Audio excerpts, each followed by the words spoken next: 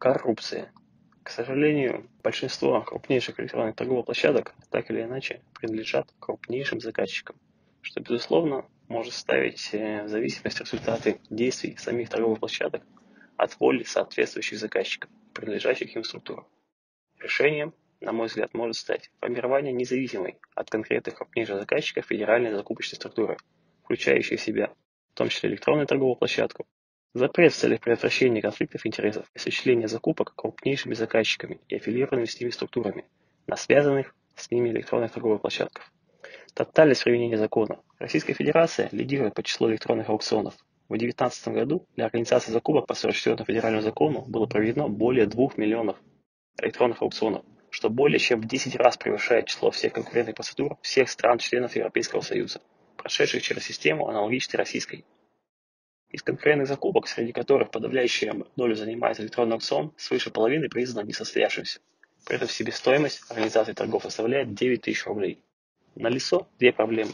Неэффективное расходование государственных средств, увеличение себестоимости закупаемых товаров на организацию стоимости торгов на мелких закупках. Кратно.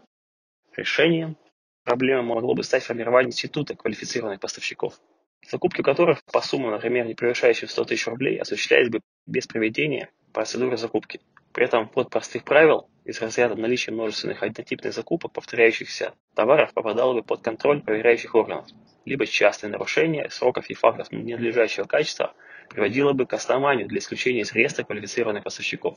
Второе. Превалирование фактора стоимости поставки над прочими факторами, определение исполнителями, такими как надежность, умение выполнять срок и обеспечить надлежащее качество. Из-за ценового демпинга заказы попадают к недобросовестным поставщикам, итогом становится затягивание сроков свыше 50% случаев, поставка с несодержащим качеством более 70% случаев, сговор поставщиков свыше 30% случаев, наличие неформальных связей свыше 20% случаев. При этом необходимо понимать, что причиной далеко не всегда является коррупционной составляющей.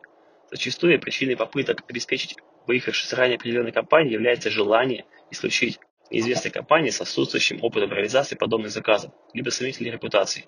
Решением, помимо введения института квалифицированных поставщиков, могло бы стать формирование взвешенной системы факторов с одновременным введением мотивированного суждения снабженца, так называемой группы снабжения тендерного комитета, для случая включения в состав принятия решений и ценовых параметров, с одновременным формированием стандартов подобных систем и механизма выборочного контроля.